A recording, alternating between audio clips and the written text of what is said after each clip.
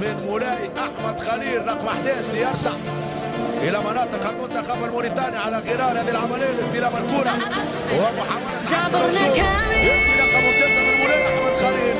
يربح مخالفة. يستفيد من ضربه مخالفة.